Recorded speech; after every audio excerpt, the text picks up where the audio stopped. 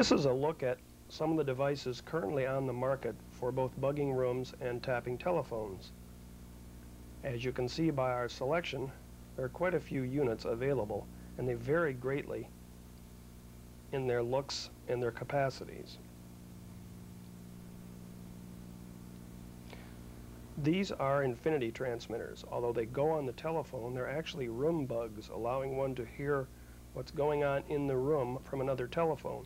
This is an old-fashioned style that doesn't work on the new telephones. This one is a dedicated infinity transmitter. When you call up, the phone never rings, but rather transmits a sound. It needs a dedicated line all by itself. A number of other units on the market are set up so the telephone will ring one or more times, allowing the user a window of vulnerability in which to grab the line and listen to the room conversation. This little unit here goes in the telephone and does exactly this. It's also possible now to buy complete phones with infinity transmitters built in. This one from Listen Electronics, you dial, rings once, and you have 12 seconds in which to dial back, and it will grab the line and let you hear room conversation. Very difficult units to find.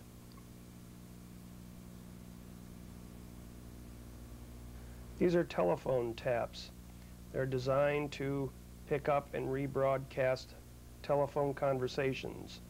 Some of them have batteries for longer range, but shorter life, but most of them attach directly across the telephone wire itself. This means they can stay active forever. This is a three-wire bug. It gets room conversation as well as telephone conversation and rebroadcasts it. This is a modern three-wire bug does approximately the same thing. This teeny little unit is often hidden in the handset of the telephone itself. Very powerful little unit. This is a law enforcement model, works well too.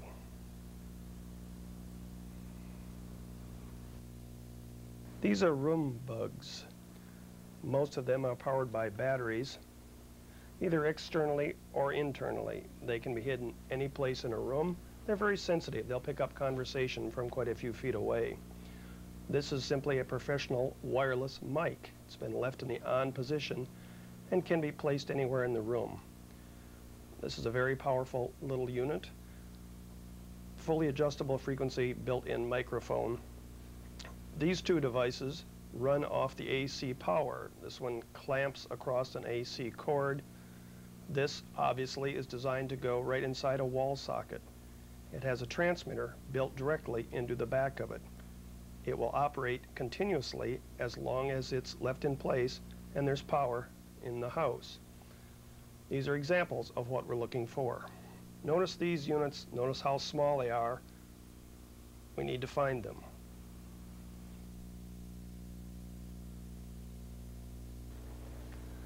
These are telephone dropout recorders. They're designed to pick up the telephone conversation when the phone is lifted off the hook and start a tape recorder.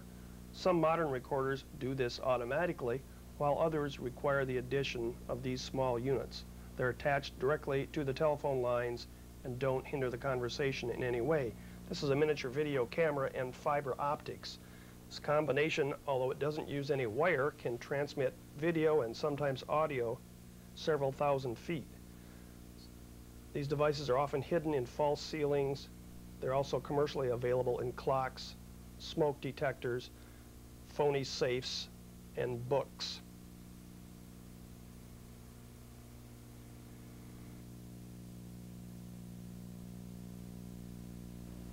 The two things we're going to look at now are bugs and taps.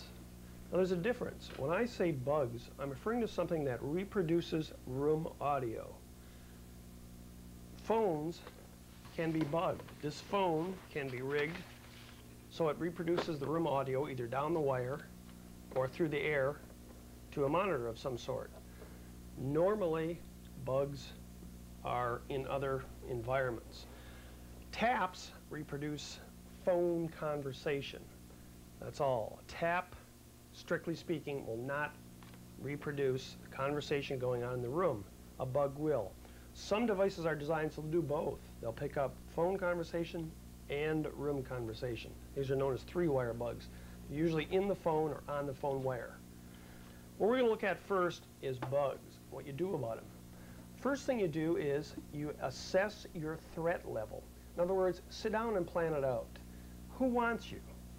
Uh, jealous spouse, you're suspicious of a business partner, something like that. That's one level of threat, and that level of threat we can cope with pretty well by following a few fairly simple things. We can eliminate that level of threat. On the other hand, if you think the DEA wants you, the FBI, somebody even higher up than that, you got problems. They're going to use real good stuff that's designed to be difficult to find because more and more people on the wrong side of the law are finding the means to hire people to ferret out bugs. So it's getting harder to do. Technology is still always a little bit ahead of counter technology. But for the most part, we're going to show how you can find both bugs and taps with fairly simple equipment. Simple to use, simple to get. It's either fairly low priced or it can be rented and used. We're going to go up through the steps, starting with the easiest, most primitive methods and working up to the more sophisticated ones. You can use all these. Neither one excludes the other. The first thing that's important is physical search. Now I'm going to say this a number of times in this video, and it really is important. It's the number one most important thing of any technical counter surveillance measures group. All sorts of fancy electronic equipment, that's great, it's going to help you find stuff. What if the bug isn't in use anymore? What if the batteries run down? What if the bug's equipped with a switch? So if they hear you searching, they turn it off. This is not outrageous. This is used by the FBI. It's used by a lot of other people as well. They hear you start a search, they turn it off. No electronic device is going to find that. Physical search is first. Now while you're planning out your countermeasures survey, you need to decide an important factor, and that is, do you mind if the people who are listening know you're searching? In most cases, this should be a yes, you do mind. Because if they hear you searching, if they hear certain telltale sounds, it will show they know you found the bug, it's useless to them, they're going to get in their car and drive away. If you find the bug by yourself without them knowing, you have an opportunity to plant all sorts of false information, feed your competitors or your spouse or whomever uh, things that you want them to know that may or may not be true, or you can simply try and catch them by saying certain things and seeing who shows up, you know, that sort of thing. So we're going to look at both ends of that. But again, first we're going to start with physical search. Now we're in sort of an office environment here. You start with everything available. Start from the top and work down. Particular attention should be paid to anything that has a battery in it or plugs into the wall, especially things that may have been given as gifts easiest way to get a bug into a place without committing a burglary, give it to the guy. Hey, here's a calculator from, you know, A&E Printing, where you do all your work. Congratulations. Calculator has a battery in it, could easily have a transmitter in it. They're built that way. Telephone has its own power. Often, often used bugging devices. We've shown later part of the film how to take the phone apart, look for these devices, some tests to do on them. Do it. But physical search first. Take it apart and look at it. Turn over anything on the desk, any funny looking little things. This, where'd this come from? Uh, does it have a transmitter in it? Very possibly. Find out where it came from. Do whatever you can. In some cases, if you want to go to the expense, you can actually x-ray stuff or you can fluoroscope stuff.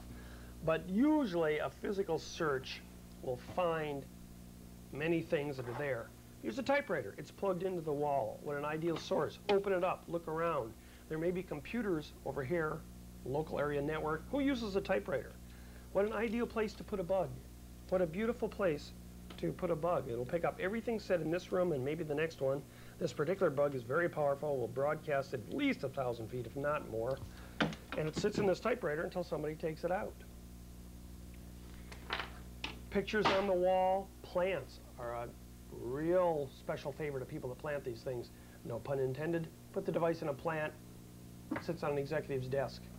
We've even found people who will place a bug in an envelope, often a special delivery or express mail envelope, address it to somebody who they know is on vacation for a couple of weeks, write personal, confidential on it.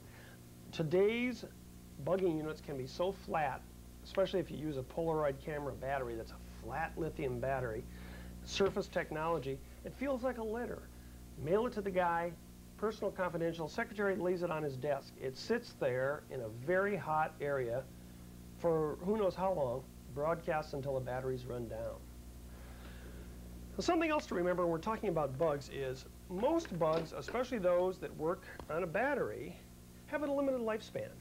How long? Well, it depends on the bug, it depends on the power output, and it depends on the batteries involved. But it's generally safe to say that a bug will last anywhere from one to three days.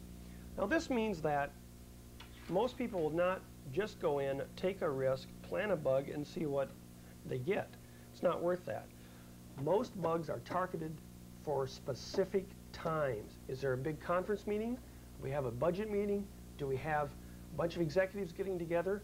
That's when you want the bug in effect. And that's when you want to look for the bug. Not two days before because it may not be there, and not two days afterwards because it may not be there. Right before the meeting. Bear this in mind when you do a search. Now this is not universally true. The bug could be hooked up to the mains, the power that comes into the office, just be running forever. If it's a battery powered unit, it has a limited lifespan or someone has to come in and change those batteries, taking a risk. So you need to do your physical search. You need to go through every piece of paper, every shelf, every filing cabinet, behind every picture on the wall, baseboards on the wall, looking for wires. We're going to show you in just a second, every suspicious wire must be run down to its source. That is a potential bug. The easiest, most practical way to bug someplace is simply to hide a miniature microphone in the room or in a small hole in the wall near the room. Run some wires out. This doesn't radiate RF, very difficult to find except by physical search. If you find some wires you can't explain, alarm wires, wires in a telephone cable, or just wires running someplace, you must trace them down to their source and make sure it's not a hardwired bug.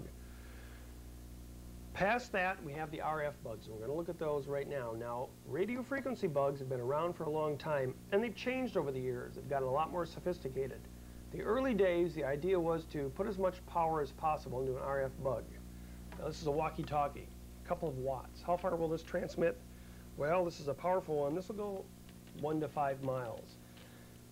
Early bugs were designed with that in mind. Let's send the signal as far as we can. Let's, you know, make the people who are listening to signals safe, get them away. Not anymore. The idea now is to use the minimum amount of power required for several reasons. First of all, the batteries last a lot longer. A one watt walkie-talkie will eat batteries up in about five hours. A 50 milliwatt bug may go a day on a set of batteries. A two to five milliwatt bug lasts 18 hours, two days, stack a couple batteries, you've got four days to a week on a bugging device. The ratio of range and battery power is not direct. There's a formula involved. Just adding more power does not make the range that much farther. A small 5 to 20 milliwatt bug will go a thousand feet easily with the right receiver and the right conditions. Why do you need more than this? If you need more than this, you put a relay unit in a car, station it 500 feet away, picks up the signal, changes the frequency, rebroadcasts it to your receiver. So today's bugs are designed to be efficient on battery power and efficient on radiated power. This also makes them much harder to find. It's a fact that there are bugs out there and there are people with scanners now and receivers that can pick up a lot of these frequencies. You put a real powerful bug in somebody's room, the chances of it being detected go up incredibly.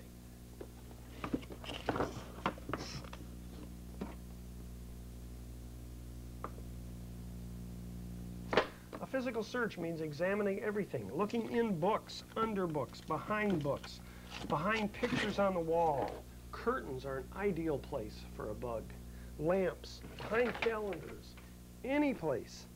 There may be a bug, you take the time, go through and look for something that doesn't belong there. Take apart the base of the lamp and look at it. See if there's a little black box in there. See if there's some circuitry that shouldn't be there. This is how you find a lot of bugs. If you had minimal access to a room, say you're in it for 30 seconds or 60 seconds, and you wanted to plant a bug, how would you do it? One of the best ways is go underneath. Go under a cabinet. Go under a shelf. A little bit of tape. 30 seconds and you've planted a bug. Physical search has to include a telephone. First thing to do is to disassemble your phone and look for things that shouldn't be there. This is known as the strip search or the sneak and peek. You need to check out the button, make sure it looks okay, feels okay. You need to look behind it in the handset and make sure nothing is hanging on the wires or stuffed up inside the handset itself. The correct way to completely disassemble a phone is to get two phones that are designed in the same manner.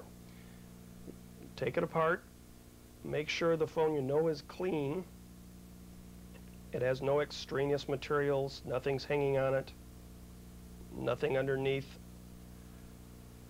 Look for small taps that might be hidden from view underneath the circuit board.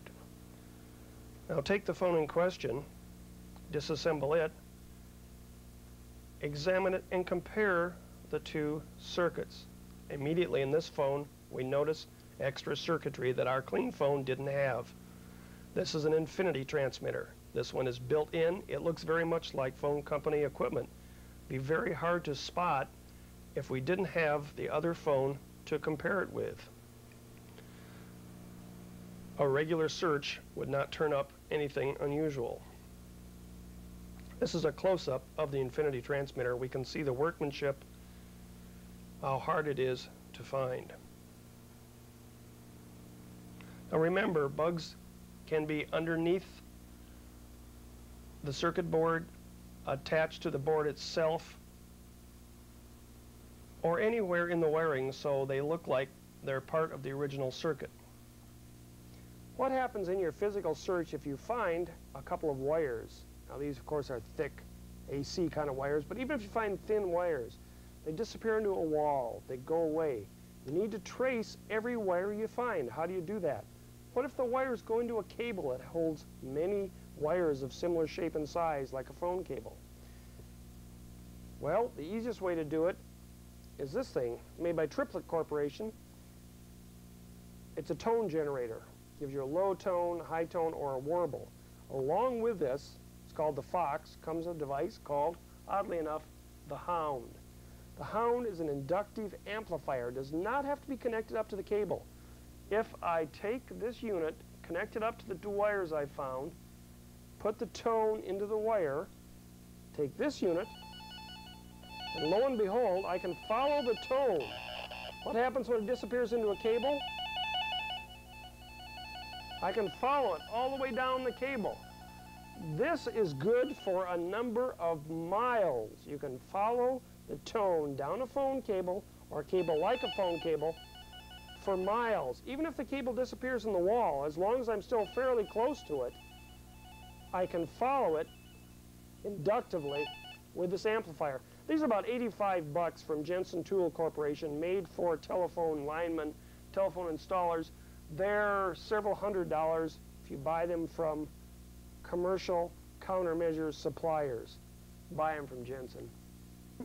The simplest, easiest, first step for finding a bug is to take an all-band radio, turn the volume up high, and turn through the bands.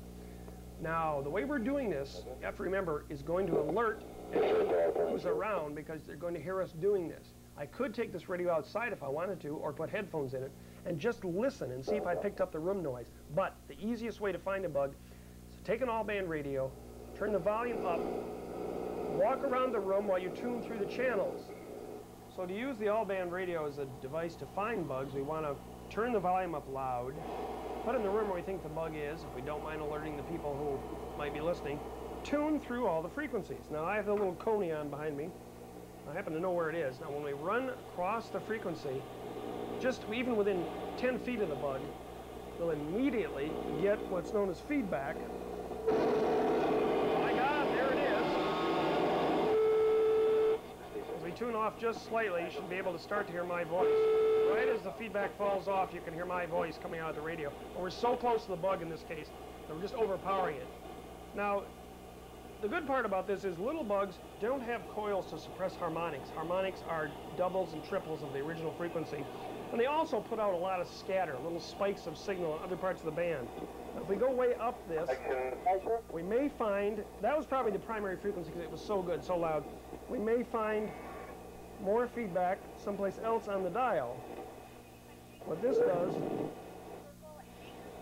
got, sounds like we've got it right there next to the uh, weather band. Makes it kind of hard to listen to. But what this does is let us find the units. Got a little feedback right there. Hear that? There we go. This makes it a lot easier to find the unit. So we have to go through all the bands and see if we get that howl. It means there's a transmitter in the area. That's the only thing that will make that feedback noise. One of the first units available for commercial debugging was a modified field strength meter. Well, this device was supposed to sniff out bugs of all frequencies. The way it did that is it's basically just a diode, it's a crystal set. It's a diode, a coil, a small amplifier that powers the meter. Look at the back, we can see there are very few parts in it. Here's our little diode, here's a coil, here's a little amplifier, potentiometer, meter, and an antenna. That's about all. Sold for a couple hundred bucks. Did they do anything? Well, yes, they'll detect radio signals just like they're designed to. In fact, if you took this out into the Sahara Desert, far away from any radio stations, and looked for bugs, you'd find one if there was one there. Our problem is that we live in a area that's saturated with radio signals. Our spectrum is very crowded. In fact, in this particular room, we're sitting about a half a mile from a 50 kW AM station that beams right through here. I pick it up on my answering machine very clearly, whether I want it or not. So what happens when I turn this on? When we turn the meter on, whoa, we have signal. In fact, we've pinned the meter. Of course we have. We're sitting on top of a 50 kW rock and roll station. Now, if I extend the antenna, decrease the sensitivity, and put it back by a bug that I know is working, I can get the meter to vary maybe one degree. Look at that. Look at that little teeny jump. That going to tell you you've got a bug there? Basically, field strength meters are pretty useless in today's environment for searching out bugs. And no matter how much they cost or who sells them, I don't think I'd buy one. You're looking at a scanner, ideal unit to pick up most bugs. Scans through the frequencies I've set in it till it finds something, locks onto it. They're getting much more sensitive. A hot scanner, this Bearcat is a very hot one, has a sensitivity of below 3 microvolts, maybe down to 1 microvolt. Pick up very low-powered bugs as long as you're on the right frequency. Where are bugs located? Well, if we start down at the bottom, you can find some AM bugs in the 160 to 190 kilohertz range. These include carrier current transmitters, which we'll show you in a minute. Scanner will not pick those up, although it will detect some AM signals. The lower bands will not pick up those particular bugs. From 116 to about 30 megahertz, we have the high frequency band, or short wave. Here we've got ship to shore, air to ground, international flights, worldwide communications. It's unlikely you'll find too many bugs in this area because you have to have a very long antenna to make them effective. There's lots of noise on the bands and the signal strength of everything else on those bands is quite high. We have everything from multi-kilowatt transmitters in Moscow, Voice of America, etc., transmitting here, and it makes it really difficult to isolate and receive, especially over a long period of time, a small bug. There's also a great deal of noise in these bands. Computer noise tends to be in these bands. So we don't find a lot of bugs in those particular bands. Generally, to find bugs, we want to look above 30 megahertz. Now 30 to 50 is what we refer to as low band. We have public service in that band, uh, some police departments, things like that. So we get up to 50 to 54, we get a ham band. 54 to 72, we hit some TV channels. 72 to 76 is a low power band in which we'll find some devices. There are wireless mics that fall in here. And it's an area that most people don't realize exist. because of that, the DEA uses it. Uh, people that don't want to be heard often use this particular band. So it's actually a good place to put transmitters. Now we got to say something here. Most scanners on the market cover only certain frequency ranges. So there are still areas that no scanner is going to hear. Now recently, ICOM and a few other people have introduced continuous scanning scanners that go from, say, 1 megahertz to a 500 or 1000 megahertz without skipping a single band. These things are ideal for locating low power transmitters, for listening to bands you can't normally find on your regular scanner, for finding units. Uh, they're more expensive, of course, and they're just coming out, but they're a really good unit. From 76 to 88 are our last two TV channels. 88 to 108 is the standard FM broadcast band, which doesn't come in on the scanner, but will come in on the radio. Most of the units you buy, for instance, if you want to bug somebody, you go to Radio Shack, you buy the little units they sell, they're going to fall into the commercial FM band, 88 to 108. This is good because any receiver will pick it up. It's also bad because any receiver will pick it up. Your neighbors can hear it. Some kid tuning around can hear it. It's going to be all over the dial. You can stick a screwdriver in most of these little devices and tune them right above or right below commercial band very easily. This makes them extremely difficult to find, and you need to do the same thing to receiver, of course, in order to receive it. Because of that, we do find units in the commercial 88 to 108 area. From 135 to 138, say in that range, we have satellites. Not much else. This is a real good place to plop a little something because even if somebody who's a scanning freak hears carriers there, they're going to figure it's a satellite or some other balloon monitoring device, something like this, and they won't be alerted to it. Now, of course, if they hear confidential information, that that's not going to hold true, but if they hear a carrier, it's not going to bother them. So we get up to 151, 174, we're in high band, commercial government area. Uh, it's divided in half. From 151 to 162 is civilian, from 162 to 174 is federal, usually non-military, uh, but federal. From 174 to 216 are TV channels 7 to 13. TV is good and bad from the standpoint of placing a transmitter. There's a lot of stuff going on in the spectrum. It's hard to find the transmitter. And the channels are very wide. That's why you can sometimes hide a small FM transmitter in the bandwidth of a commercial trans, uh, TV transmitter. And people generally don't look there. It makes it very difficult to find. You've got to be pretty good, know what you're doing to find it. The area between 216 and 220 is an open area. It's rarely listened to by anybody who has a scanner. Typical scanners, for instance, Bearcat's tune from 30 to 50, 118 to 136. Then they jump over to FM because they've been using AM in the lower frequencies, and they go up quite a ways, say from 406 to 512. Now the newer ones cover the 800s, 802s to 960s, where the cellular telephones are, but most of them still cut off at 912 or 915, something like that. So you have to remember that.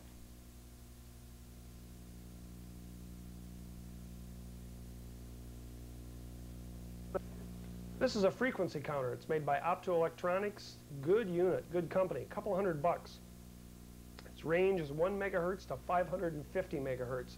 Now the sensitivity will vary some in that range, but it works pretty well. Now we've taken the liberty of mounting this unit, which you see here. This is about a $70 amplifier. It's a preamplifier, often called an active antenna, which is not really what it is. But it increases the gain somewhat. When we're looking for real little transmitters, like we are, may give you another foot of range, which is very important. So you, we recommend this. Also, you can put this on your scanner. It gives you better front end reception.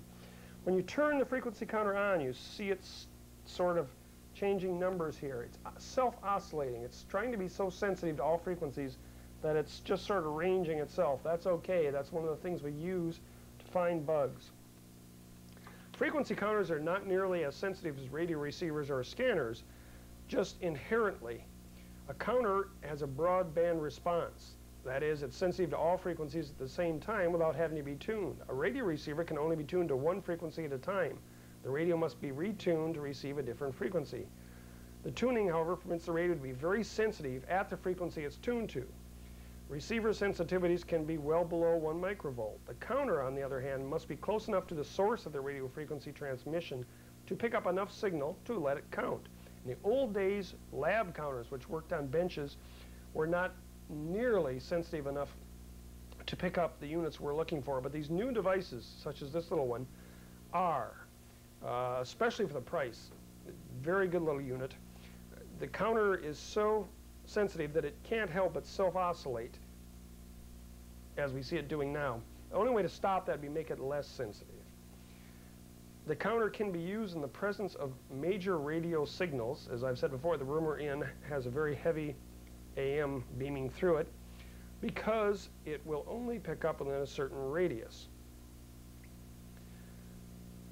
It also has a built-in separate detection circuit that can be adjusted up here for a threshold, and when it's in the presence of local RF, once you get the threshold underneath the resident RF, this little light will come on when you're in the presence of RF. However, we found this is not the best way to find a bug. Paying attention to this counter is the best way. Now, when you get used to using this unit, you'll see it self-oscillating.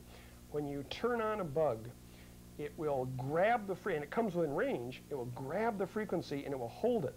This does a number of things. It tells you there's a radio present, it tells you you're close to it, and it tells you the exact frequency of it.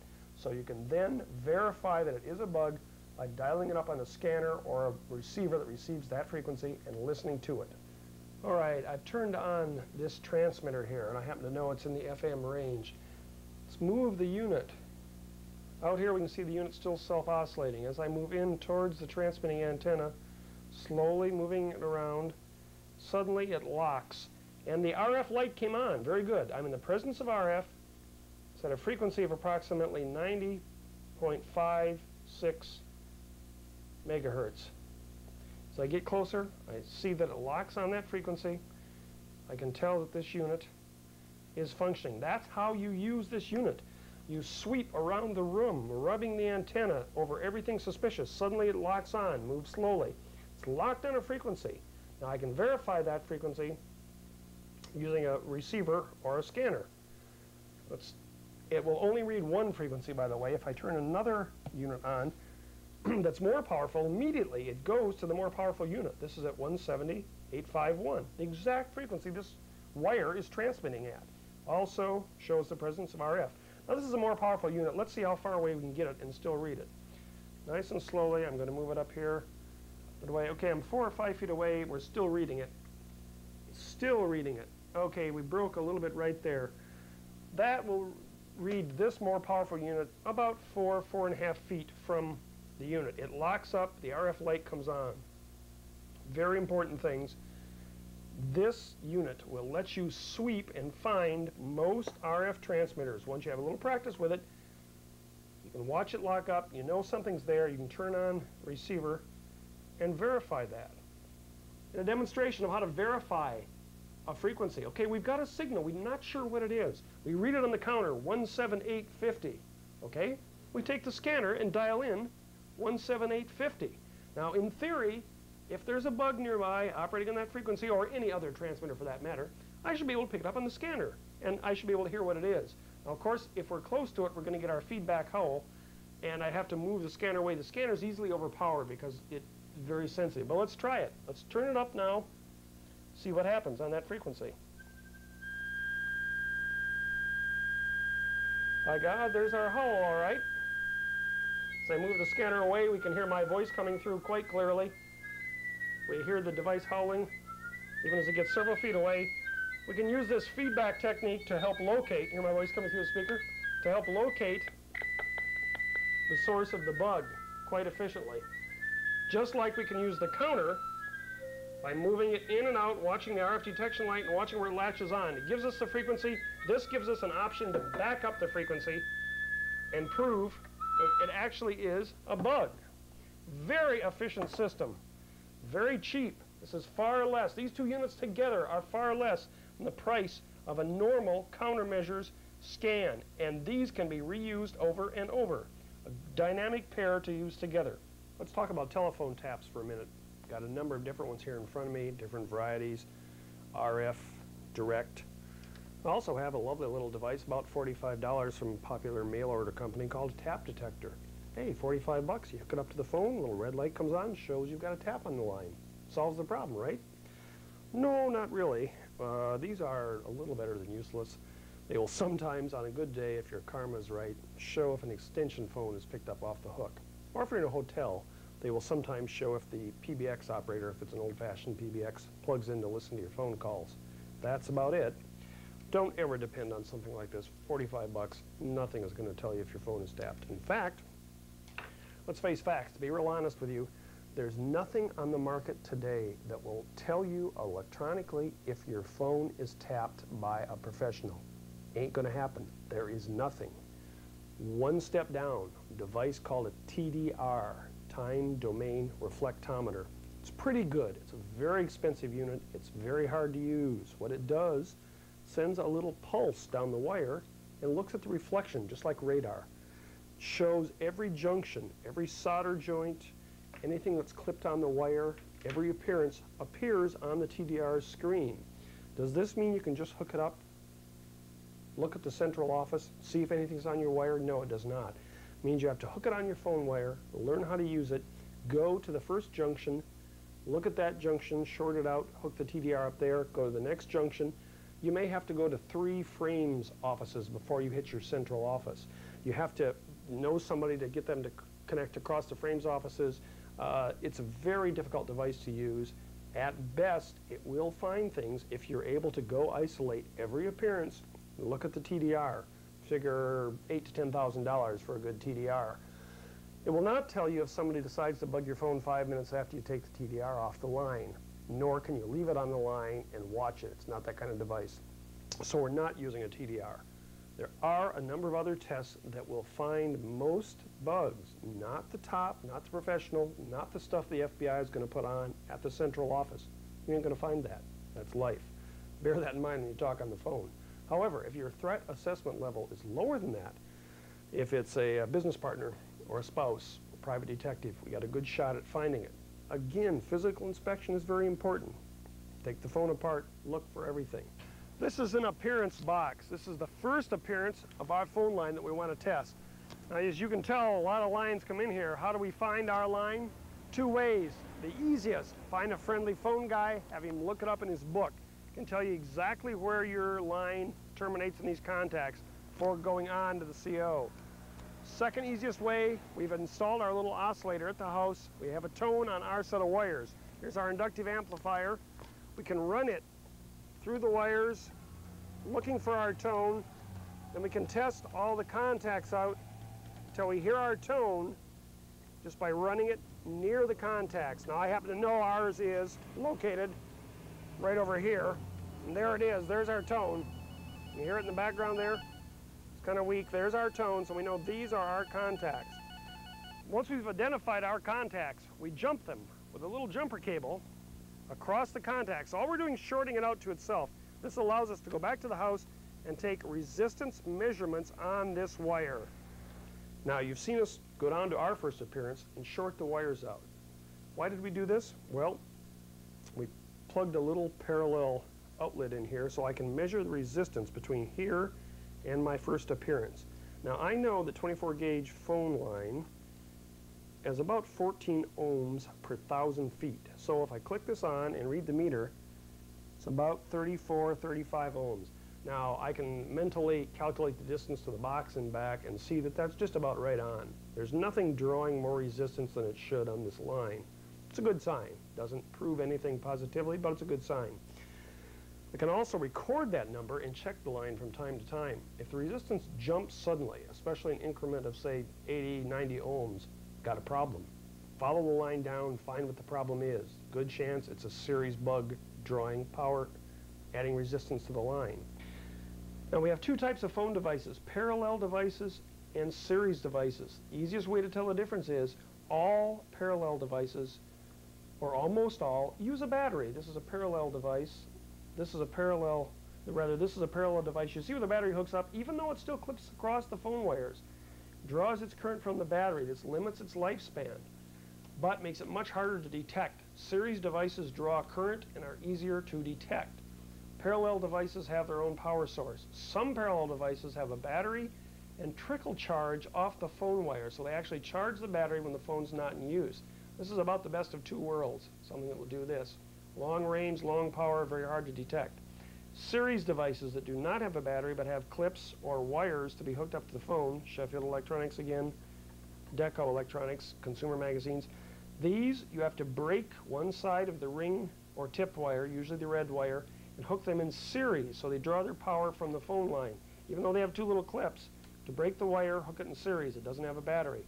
They do draw current from the phone line and are a little bit easier to find. The next measurement we're going to do is on-hook and off-hook voltage. This is an important measurement. Now we've unclipped our little jumper cable so the telephone is back to its normal everyday use. It used to be that the voltage was very exact and any deviation meant you had a problem. Phone companies in those days ran on a backup system that consisted of car batteries.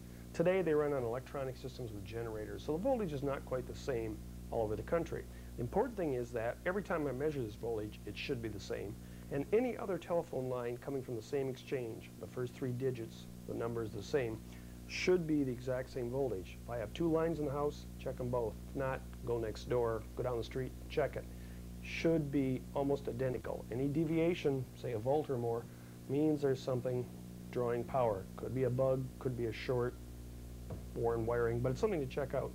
Okay, the on-hook voltage here should be between 48 and 54 volts. We're going to check that out. You can see I plugged in a little parallel connection that just sort of opens into uh, spades here. Got the multimeter set up. You're going to check between the tip and the ring, which is the red and the green wires, and see what the voltage is. And as soon as I manage to hold this correctly, you'll see the on-hook voltage, and this is 50.6, which is just exactly in the range. That's real good. I'm going to take the phone off the hook, measure the off-hook voltage in the same fashion. So I measured the on-hook voltage and we see that that is about 5.6. Again, very legitimate. Everything looks okay. I'm going to record those voltages in my little log and check them later.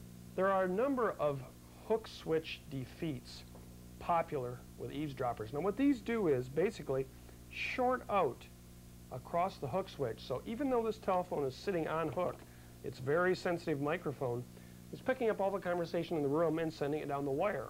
As an eavesdropper, all I have to do is go out someplace along the line, tap into the wire, amplify it, and I'll hear all the conversation in the room. There are a lot of ways to do this. The infinity transmitter is a good one.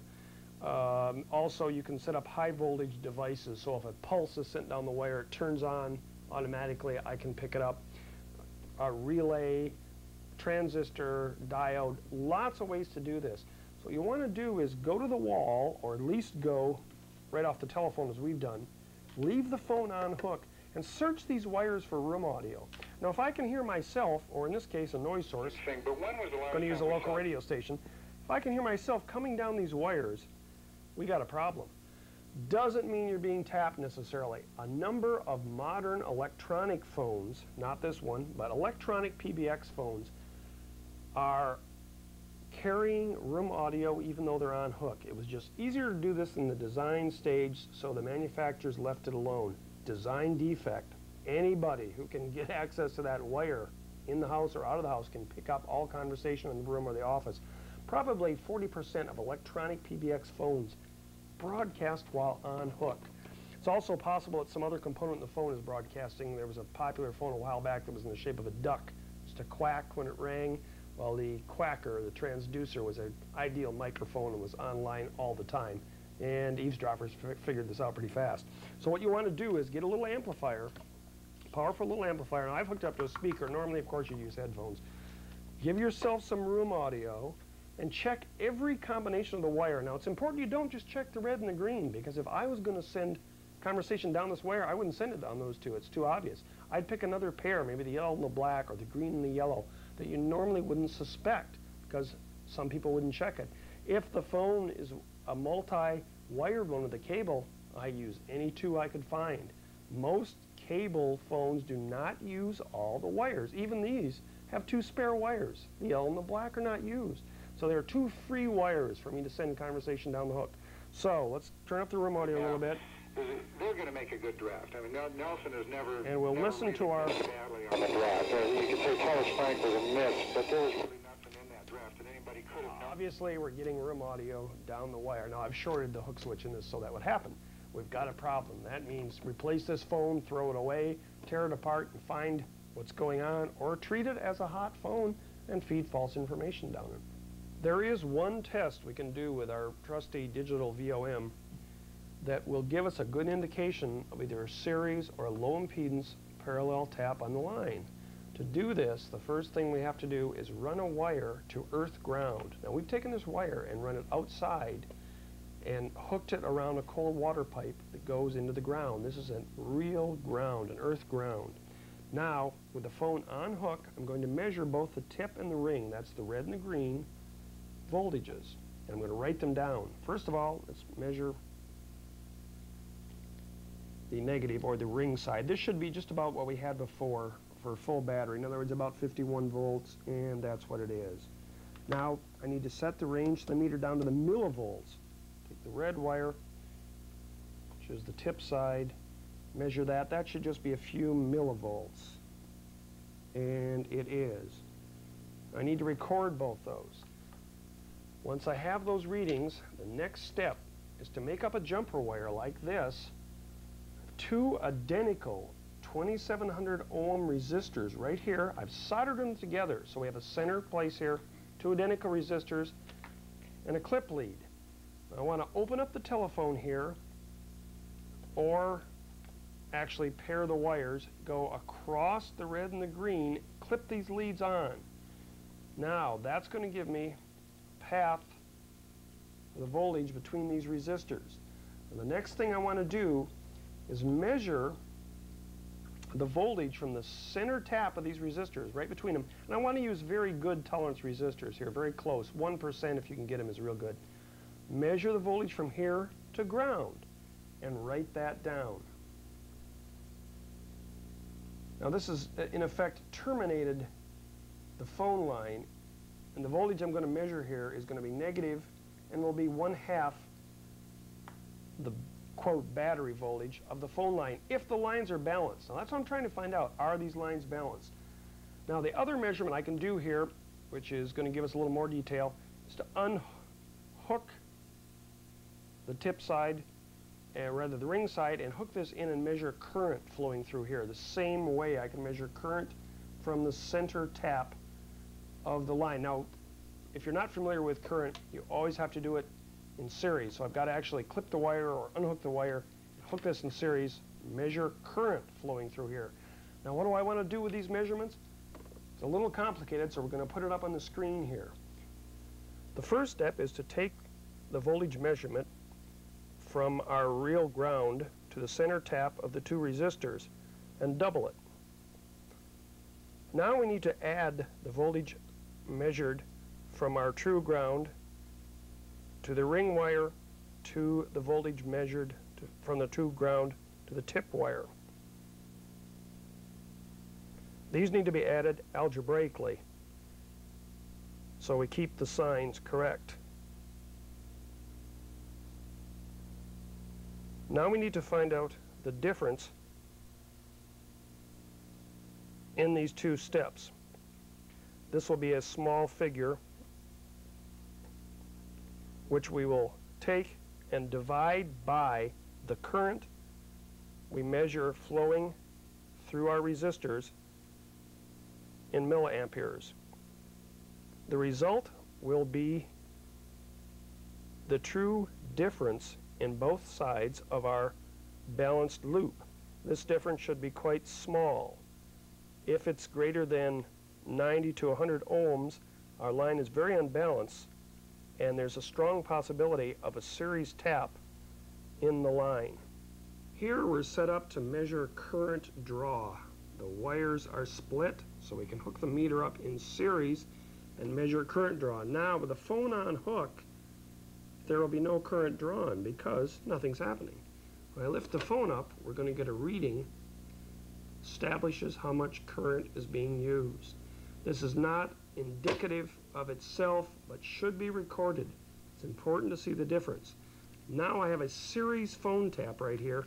I'm going to hook it across the wires in series with the phone and see if we can tell that it's drawing current. Now this is a very small unit. It's a microelectronics. It's going to draw very, very little current. It's going to broadcast a couple hundred feet, both sides of the conversation, when the phone is lifted up. Let's see if we can tell with our meter if it uses current. And by God, the reading is different. We can tell something has upset the reading, it's drawing current, which it wasn't before. Something is in series with the phone line. This is just one reading that you can take, but it's a good reading. It will not show up a good parallel tap that's self-powered, but any unit which is a parasite that draws its current from the phone line should make a difference in the current draw on the phone line. It's good to record this every so often and compare it.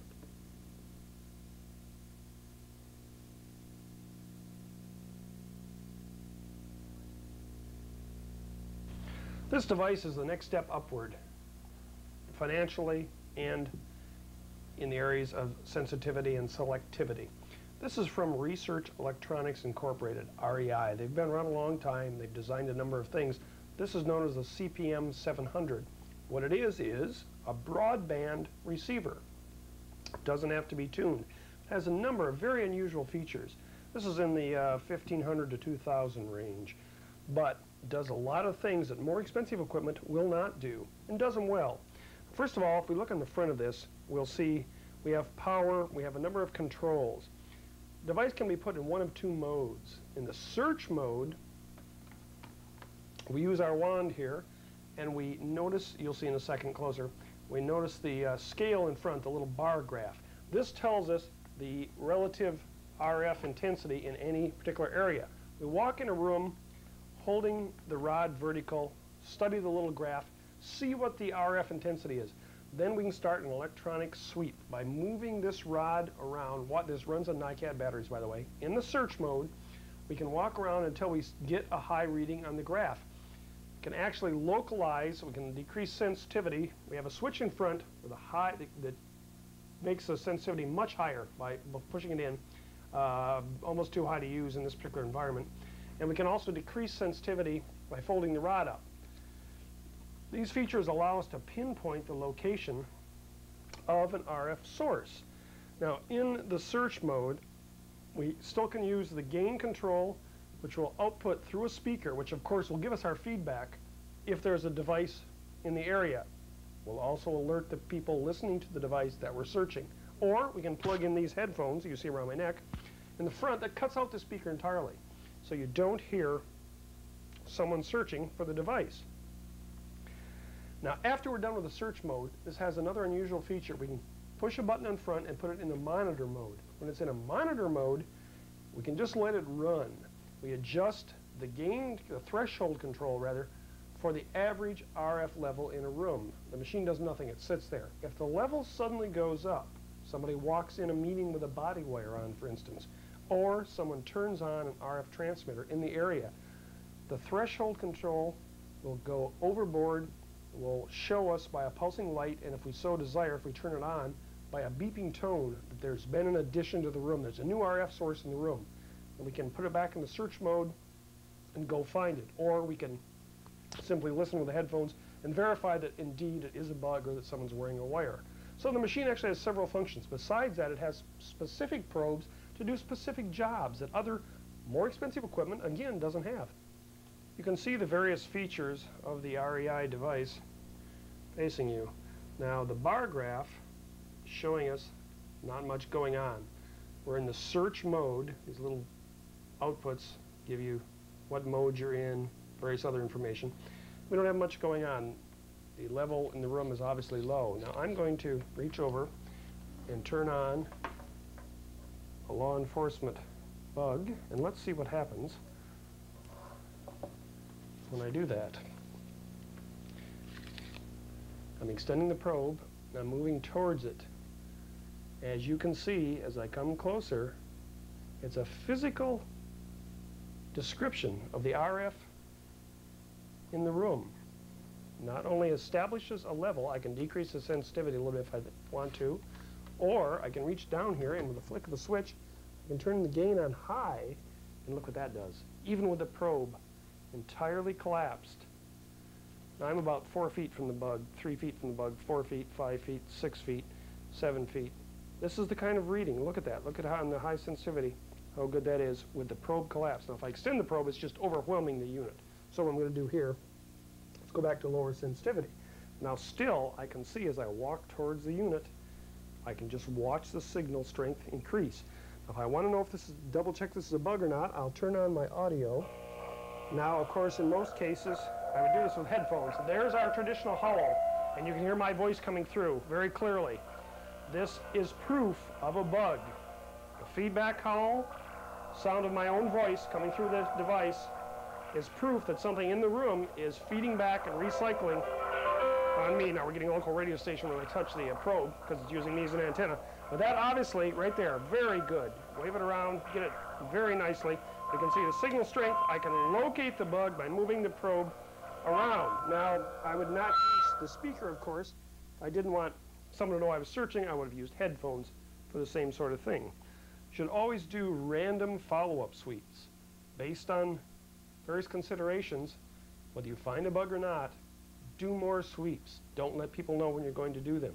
And even if you find a bug, you don't stop there. A good eavesdropper will often plant more than one bug. For instance, take this little FM unit here, commercial FM unit, turn it on. Lovely little thing, easy to find. Now, we can see on our bar graph, getting readings on it. Okay, I want to verify that that's what it is. Lean forward here, turn on this. Oh, there's our feedback howl. Shopping spree. Decrease the sensitivity a little bit. Listen to that. Proof that a bug is there, but that's not proof that that's the only one. Maybe I've hidden this so you can find it easily. And then maybe I've taken a better unit, maybe a remote controlled unit, and hidden it so it's going to be a lot harder to find. Well, if you're a security service or security manager and you find this, you've got proof. You can go and say, look, we did our job. May not be the entire job. Keep searching. After we've used the REI device in the search mode, we can then flip over and put it into the monitor mode. Once in the monitor mode, we get a nice readout of the threshold. And we can adjust our RF threshold until we see the device or hear the tone. And this is just picking up ambient RF. We don't want that. So we're going to adjust the threshold up until it's just over that. And we can see in the bar graph where I've got the threshold adjusted. I can actually go all the way up here if I want. Doesn't make any difference. But the most sensitive place is right before it detects the ambient RF. I'm going to turn on a unit. Look what happens. The unit is several feet away. Get a nice clean reading. So you can turn this on in your office, let it sit, just let it run. Somebody comes in wearing a wire, somebody turns on a transmitter, you'll be alerted. I'm going to toss this device to my cameraman, who's out of the picture, and have him walk slightly away. Now, we've lost him a little bit, you'll see. We're going to go vertical on this. We're still getting him. I haven't touched him, he's about six feet away. Now we've lost him. I'm going to switch this over to high. See what happens there. Look at the RF spectrum. Look at how we flooded it. He's about 12 feet away, 15 feet away, almost 20 feet away, holding a small law enforcement type medium to low power bug, not a high powered body wire. Now if I go low on this, well, he's still, we've lost him right there. We're just on the threshold of him right there. You can see that. As he moves around a little, we pick it up. If it's irritating, we turn it up a little bit, go to high, there it is. Now this is a long way away. This is a very sensitive unit. It's a very nice mode. Leave it in the monitor mode, let it do its thing. Gives you a good indication of what's going on. We're using the CPM 700 in its search mode now. Got this collapsed. You can kind of see the bar graph. Not much going on here. Got the unit in the same place we had it in for the counter. Let's see what happens. We're going to extend this out. Gives us some sensitivity. We look like we're getting a little RF. As I move over, look at the bar. Immediately starts bouncing up. I can localize. I can come back here. It's going down. I know that's not the right direction. Down here, no, not the right direction. Up here, look at the increase in signal intensity. Right there, I know I'm hot. Go over here, and immediately it starts backing off. Very nice. You can tell, I can pinpoint it. I know it's in this box. I can pinpoint it just within an inch or so by moving this around. The probe is about six feet from the bug. We have little or no indication on the bar graph. As we move closer, immediately the RF reading picks up.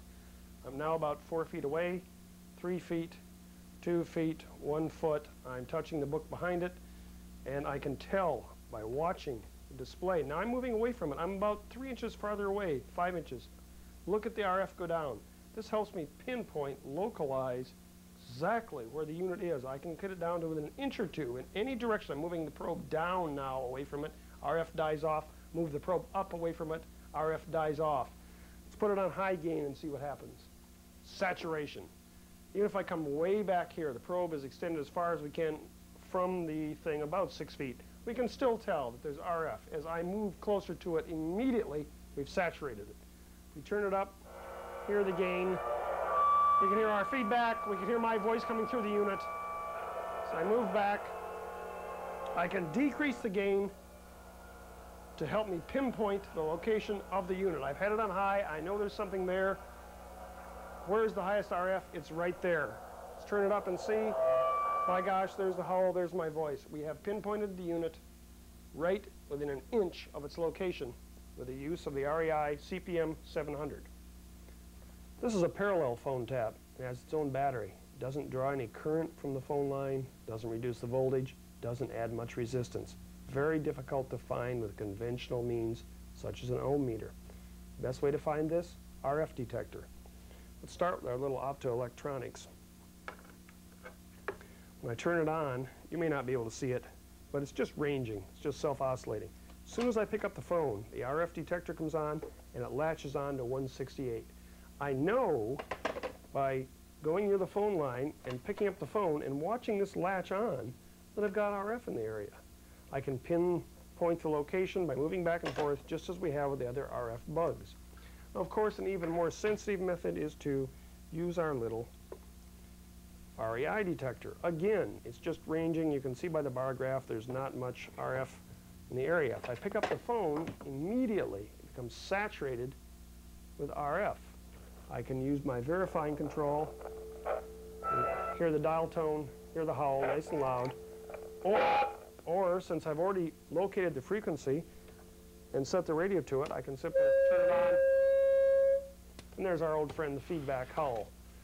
By using the frequency counter or the REI RF detector, can find it easily. Now, as soon as I hang up, signal disappears. Be sure you utilize that factor when you're looking for taps. Electrical outlets are one of the first places to suspect any sort of surveillance operation. First thing you should do is go to the circuit breaker. Turn the current off so it's safe. Take this apart. Look on the back for any extraneous circuitry that could be a transmitter. Look in the hollow wall. That's a favorite place to leave a transmitter. Clip it across the AC, drop it in the wall. Got a nice shot into the room. It'll run virtually forever without a battery change. The next thing to do is take your counter and check for RF free, uh, energy. You'll notice it's free ranging. There's no extraneous energy here. We're okay. To verify that, we'll take our REI counter, grab our wand, and run it around the plug. No indication. Nothing's happening. We have no RF within the range of the unit emanating from this socket. Another room attack, a great one for bugging, is to take a transmitter that effectively transmits over the wires in the wall. Our good friend Radio Shack is the main source of these units. This is known as a carrier current transmitter. It's plugged directly into a socket it blocks out the AC from the socket, picks up room audio through a small microphone, transmits extremely low frequency RF through the wiring in the house. How does this work? Well, it comes with a receiver that matches it. This receiver can be plugged in another outlet as long as it's on the same wiring pattern as the transmitter. This means in a house where you have two-phase electricity, you've usually got two wires coming in with 110 on them and one common wire. You've got a three-wire system. You need to check several outlets to make sure that no transmitter is plugged into one phase. If I'm in the wrong phase, I won't receive the audio. In the old days, the audio would stop at the local transformer that PG&E puts on the pole. That stops audio. Nowadays, PG&E is strapping most of their transformers, at least in big cities, so they can run their own audio down the wires and or use load monitoring systems so they can tell how much electricity you're using without coming out and reading your meter. What this means is there may be audio on the wires in your wall. How do you check for this? This is a great little device. One of the things people do with this is take it, remove the cover, put this circuitry, which looks very innocuous, into a stereo or a television set. Who's going to notice this if it's laid across the AC in an already existing unit? Very difficult to find. How do we test for a carrier current transmitter? Well, the first thing, of course, we can look at is our frequency counter. And unfortunately, it won't lock up it doesn't go low enough to detect the very low frequency of a carrier current transmitter. It's just kind of wandering aimlessly, no indication from the wiring. The next thing we can do is try our old friend, the REI unit. This has a special low frequency probe. Comes with the unit. We can put this in the socket and see if it'll pick up RF. Obviously, right away it does. You can see the strength on low gain. If we put it on high gain, it saturates the unit. The transmitter is hooked up across the room at the moment. This is the reading we get, and we can verify it by turning it up. We're using a radio as a sound source, and we turn it up. We hear the audio coming cleanly through the REI unit. Very handy unit. Is there an alternative to this? Only one. Most of these units, as I mentioned, come from Radio Shack. Spend $80, $100, and buy Radio Shack's wireless room monitor and their wireless babysitter. Most units on the market are going to be Radio Shack that someone has spent 80 bucks for and plugged into your circuit. Plug in your own receiver and see what happens. Turn it on, and by God, there's our feedback loop, as well as our test audio. We know that audio is getting into the wiring of the house from somewhere simply by using this. Sometimes you may also pick up PG&E talk, other noise. But the important thing is we hear the room audio. If we turn it up enough, we hear the feedback loop. This will not find everything. If a unit is custom made and is on a different frequency, this won't find it. But I tell you, 90% of all units out there are Radio Shack realistic room monitors. Run it up and take a look.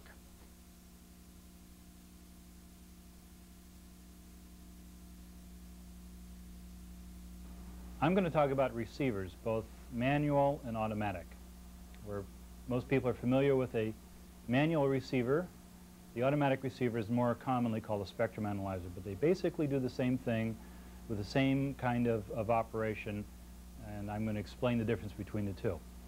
We'll start with the manual receiver. I have here an ICOM receiver, which is representative of, of a good but not great VHF receiver. This one tunes from 30 megahertz through uh, above 1 gigahertz and covers the bands you commonly would find for transmitters. And like the receiver, it has a knob, a, which you tune with, this has a digital display of actual frequency, a whole bunch of other knobs that can do some special features like scanning, which we're not going to talk about. And um, you can also directly enter frequencies from the, uh, from the keypad. I've tuned in a, a, local FM station here. In FM broadcasting, that's generally called wideband FM, which is designed for high fidelity type operations. Most communications applications tend to be narrowband.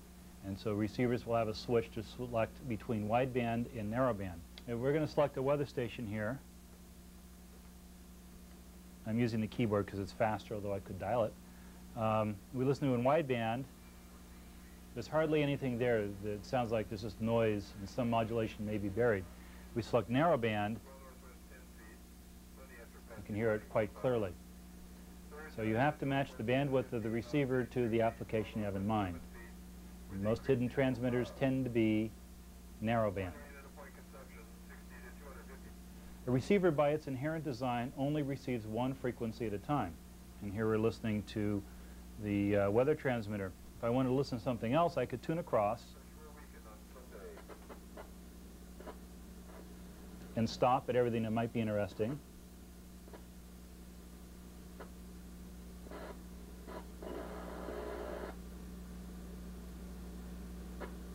And it takes a long time to cover the band.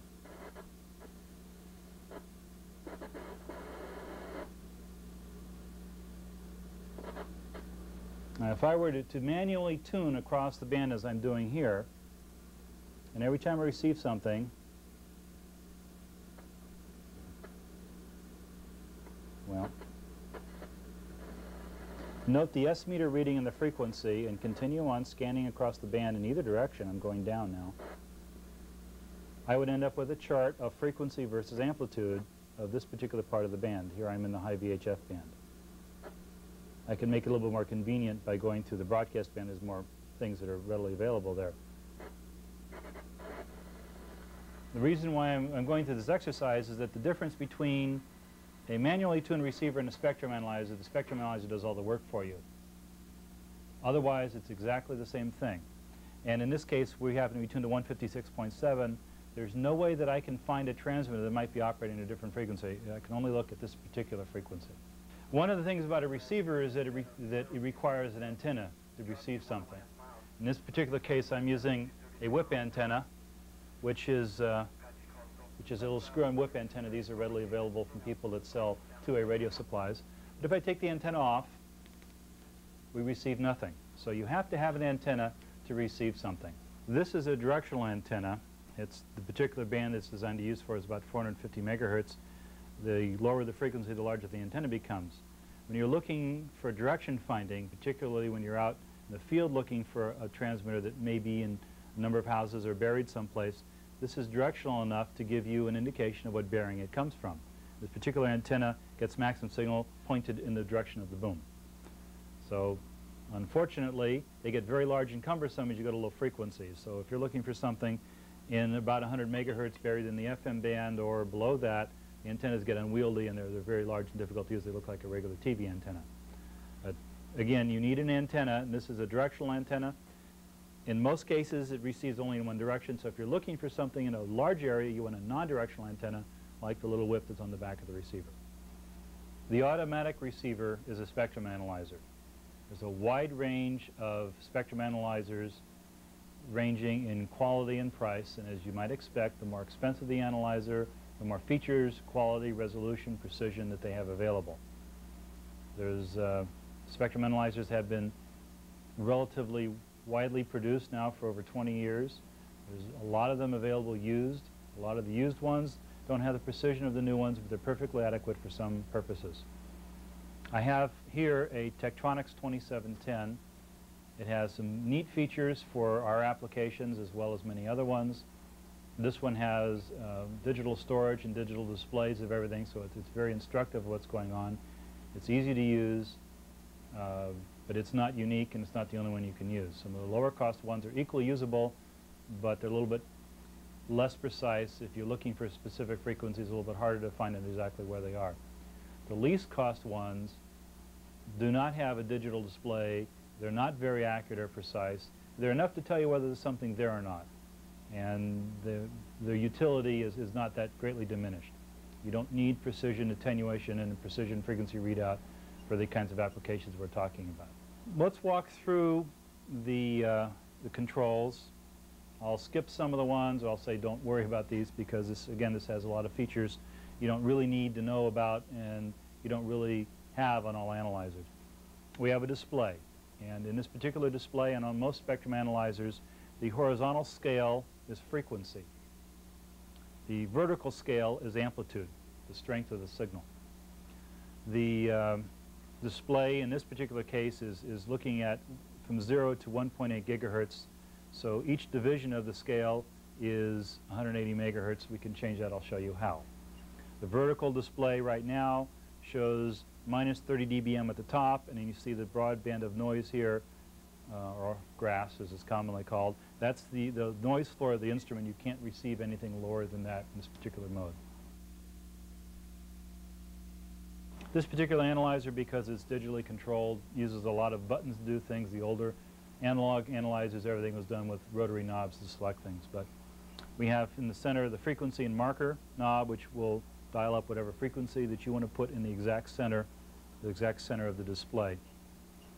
We can change the frequency manually. I can also directly enter it from the keyboard, which is a lot faster. The frequency span per division here, those four keys control the horizontal scale of the display. In this particular mode I'm at looking at is max span. If I take it out of max span, it thinks for a minute. And now we're looking at uh, a display which is more conventional. It's showing amplitude and frequency. We're at 500 kilohertz per division. So that 162.4 is in the center. That's the, the weather transmitter we're listening to earlier. And then other things are 500 kilohertz in increments above and below that. I can change that by increasing or decreasing the span per division. And as I go to narrower spans per division, things spread apart. Also because it's automatic, the trace also is slower. And note how the, the trace changes here. It's slowly sweeping through frequencies. So if something is coming and going, we miss it while it's sweeping, unless you happen to be lucky and catch it when it does that. Going in the other direction, we can put them closer together.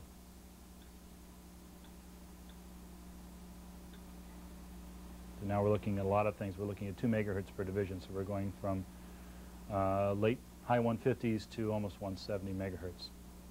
The four RF level buttons control the vertical scale, and I can increase the display, except that you'll notice the noise floor moves up when I do that.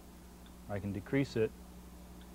See in the upper left corner, the display changes, and it gets to the point where it doesn't see anything because it has no sensitivity. I've turned it down too far. Back to minus 30. The next four buttons below there have the resolution, which is how broad a bandwidth the receiver is that's sweeping to the frequencies.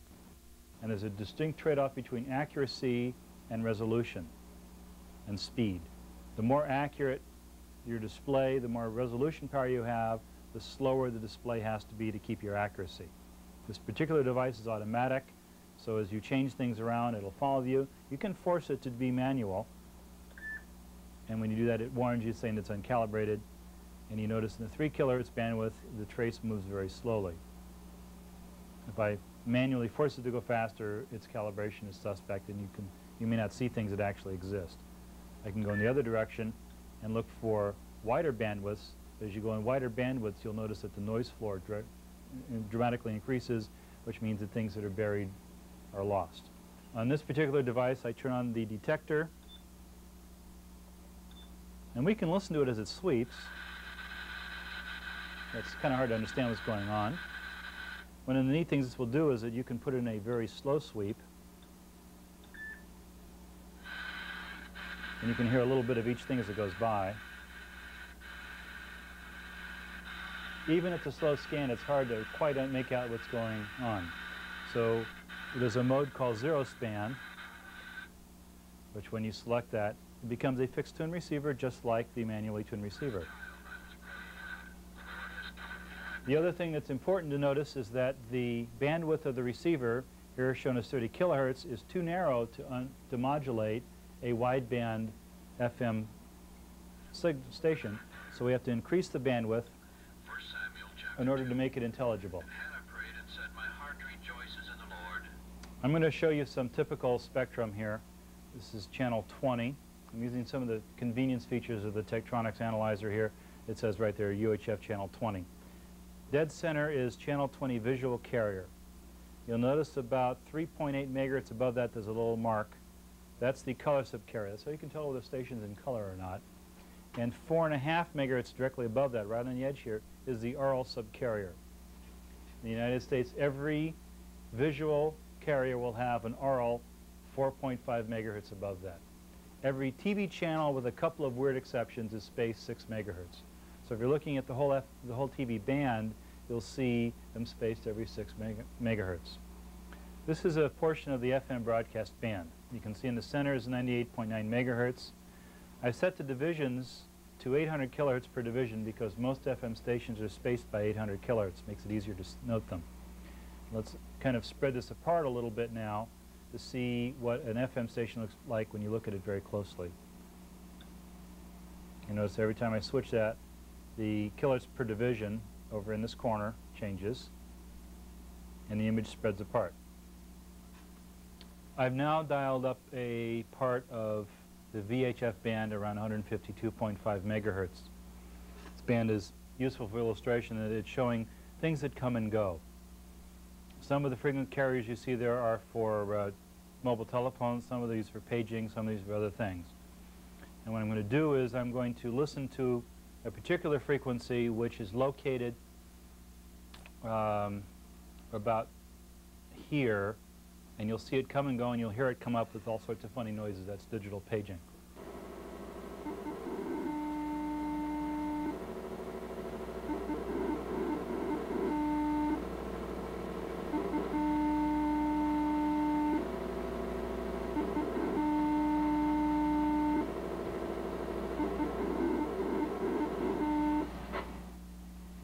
You're watching real closely, it happened right there. And there's several other ones came and went while, while we were listening to that. What's important when you try to look for things is to have a good idea of what's going on in whatever band that you're looking at. Because there's lots of stuff out there. Some of it is perfectly legitimate transmitters. Some of it may be spurious noise caused by computers or other electronic devices in your neighborhood. And some of that might be a little transmitter, which is what we're looking for. A very useful piece of advice, particularly for those who have never used an analyzer before, is to get your hands on one, take it home, and learn how to use the instrument and learn what is actually out there in the RF band. There are hundreds, sometimes thousands, of legitimate transmissions going on in any given area.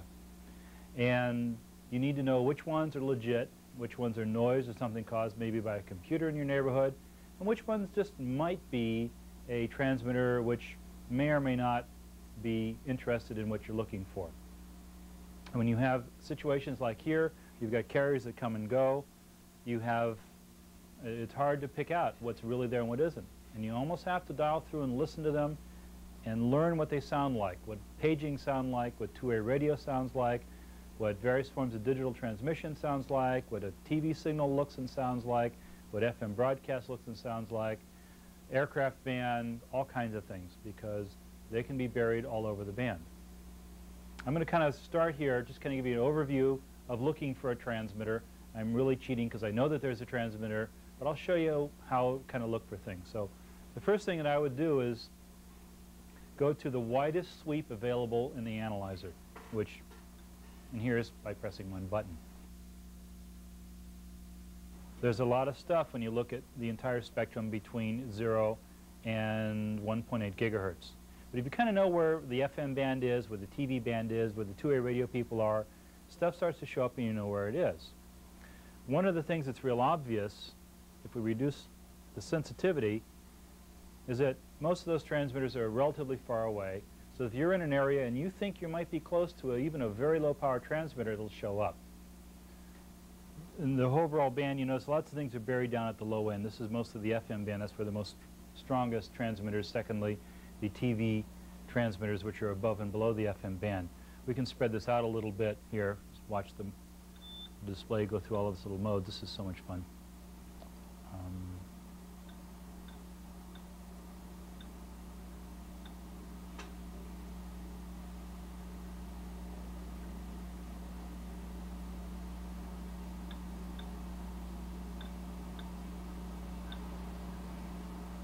We're looking at here in the middle is the FM band. There's a lot of noise in this area, which is probably a computer or some kind of a thing. But if you have a good idea what it should look like, then you can find it. Let's go back to max span again. And um, mysteriously enough, some little transmitter will show up. All of a sudden, you notice over in this corner here at about 180 megahertz, there's something that's actually off screen. It's a very strong little transmitter. And it isn't always this dramatic and obvious. We're doing this here to make it easier to see. But there is a little dot right there above the 5 megahertz. And that's a transmitter. And even at this very low sensitivity, I'm seeing something there, and I'm seeing several harmonics of it show up. I'm going to make it look a little more obvious. There's one right at about 180, there's one right about 360, there's one right about at the third and fourth harmonic. Anytime you see something very strong and things integrally related to that, nine chances out of ten you're looking at a very simple, inexpensive, low-power transmitter. They don't have the harmonic attenuation that more sophisticated transmitters have. You make them small and, and compact, they tend to have lots of harmonics. It's real easy to see. Well, here's our little transmitter at 169. Let's dial up that frequency exactly. and look in that vicinity of 169 megahertz. Take it at a max band, it works better. Now, we're using the internal detector on this. We might be able to actually, can sweep by it, you won't hear it, so we'll stop. Go into zero span, and we get feedback, which will give away not only that there's a transmitter there, but it'll also give away that you found the transmitter. So it may be a good idea to listen with headphones while you're doing that, but that's relatively easy to find when something is that powerful and that obvious. I've set up a little demonstration here using a uh, two-way radio service generator right here as a signal source rather than a little transmitter. It's more controllable and precise. And because it's not very sensitive, I put the mic right on top of the receiver so that we can get a little feedback to demonstrate when I actually find the frequency, it'll feed back. I know what the frequency is, but I'm not going to tell you what the frequency is. If we take a good look at this shot here, a good close-up of the screen, you'll see that there's a number of carriers there, and they're all kind of there. They're all at about the same amplitude. None of them are particularly strong. This is when it starts to get hard to find things, because ones that are well buried and somebody who knows what he's doing will bury them well, make it harder to find. The first thing that you can eliminate is the ones that come and go. The carriers that come and go are probably paging or two-way radio or something. So you stare at it long enough, you'll notice that, hmm, a couple of these are here all the time. And you can take a mental note of the frequencies, approximately, although I can do it smarter by using the marker here. We'll move the little red dot around.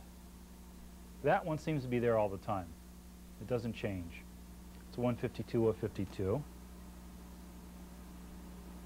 The one below it seems to have stuff that comes and goes around it. Oop, that one just went away. Well, it can't be that one. All right, well, let's go back over try this one here. What's going on at 152.24? That one stay put? Hmm, it seems to stay put. Okay, well, let's uh, Let's check it out. Let's go to zero span.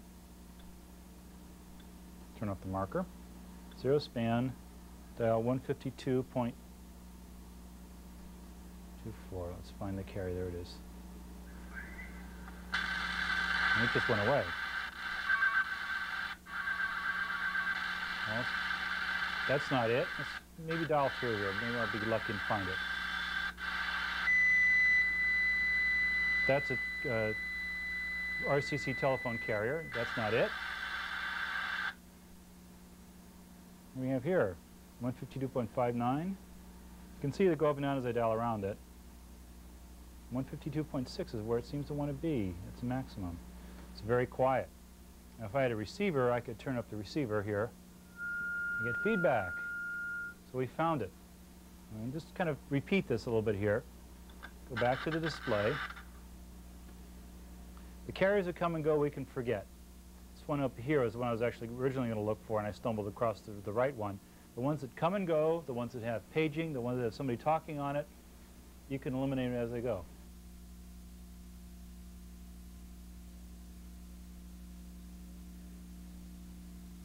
The carriers that come and go, you can discount because that's a two-way radio kind of an application. It's paging or, or something else carriers that have a continuous tone on it, that have uh, digital paging, other kinds of noises. So you can use the receiver or the spectrum analyzer in a manual mode to slowly dial through the band and listen to each one, if it has an internal detector. The ones without an internal detector, you're completely blind. You need a scanner or a receiver to find them. So you have to think about what you see and not just say, yep, spectrum analyzer gives me a picture of what's going on. up, that's it, I can find it on the first try. The, the harder to find small transmitters are the ones that will test your knowledge and skills and, and patience because they invariably will be buried with a bunch of other things that would tend to obscure their existence. In summary, spectrum analyzers are like any other tool. In a trained and experienced hand, they're very useful. They're not hard to use. You should not be intimidated by them. You really can't hurt them by playing around with them. The only thing you can hurt them by is by connecting them directly to a transmitter like a two-way radio or I don't think you'd see a broadcast transmitter or a high-power paging transmitter. But if you just use an outside antenna, you can't hurt them. Play with it, learn how to use it. There are some things that they're real useful to find, and they can be used out of ranges that you wouldn't expect. For example, we're back here to the, the wide span. There's something buried in there that we're looking for.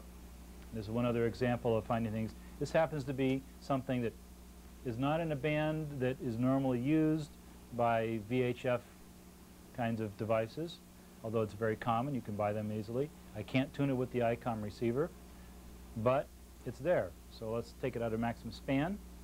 We're going to notice something. There's a carrier here.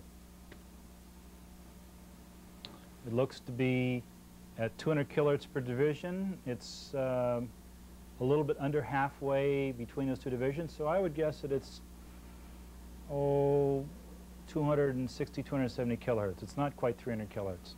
So let's dial down there and see what we can find. Too far. When you start using the low end of the band, you're going to notice something interesting. The large spike right here is zero, and below that is an image. Ignore everything below the large spike. That's zero frequency. Below that is negative frequency. Actually, this one, this machine's smart to say that's negative frequency, negative frequency. But let's go back looking for this little weird little spike here. I wonder what that's coming from. Well, we can dial it up here. I'm sneaking up on it. I can count it if I want to. The machine will count it automatically. It'll display it up in this corner. Has to think. It's 259.022 kilohertz. I wonder what that is. Well, put it in zero span here, which turns this into a manual receiver. And I get feedback. What we're looking at is a little wireless room monitor made by a local neighborhood electronics supplier that you can buy anywhere. This receiver, the spectrum analyzer, can actually receive and demodulate that. The uh, ICOM VHF receiver cannot. Most communications receivers that are designed for shortwave listening cannot receive FM at that lower frequency. So having a 10 kilohertz to 1.8 gigahertz precision tuned receiver can really make a difference.